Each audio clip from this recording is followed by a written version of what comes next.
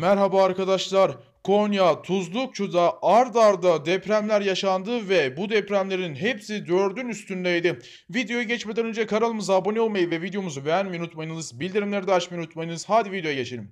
Konya'da saat 18.51'de 4.7 büyüklüğünde bir deprem geldi ve bu depremin derinliği ise 7.1 kilometre olarak ölçüldü. Ardından 51 geçeden 1 dakika sonra yani 18.52 geçede 4 büyüklüğünde bir deprem daha geldi. Konya, Tuzlukçu'da ve 7 büyüklüğünde daha doğrusu pardon 7 kilometre derinlikte bir deprem meydana geldi. Gene 1 dakika sonra 18.53'te derinliği 4,61 kilometre olan büyüklüğü ise 4.1 büyüklüğünde deprem meydana geldi. Gene aynı yerde Konya Tuzlukçu'da art arda depremler yaşandığı Konya'da 4 üstündeydi. Hepsi de 4 üstünde depremler yaşandı Konya'da. Son durumu şu anda AFAD ve Kandilli'den yapılan açıklamalara göre 4.7, 4.1 ve 4.0 olarak açıklandı bu depremin büyüklüğü.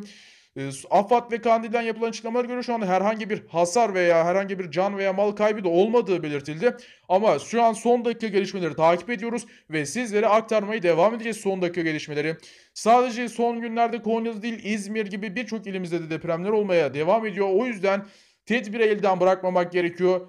Ee, tedbirleri alalım arkadaşlar. Videomuzun sonuna geldik. Son dakika gelişmelerden sizlere haberdar edeceğiz. Şu anda deprem e, gelişmesini de takip ediyoruz. O yüzden kanalımıza abone olmayı ve videomuzu beğenmeyi unutmayınız. Tüm Konya halkına da geçmiş olsun dileklerimizi iletiyoruz. Görüşmek üzere. Kendinize iyi bakın. Sağlıcakla kalın.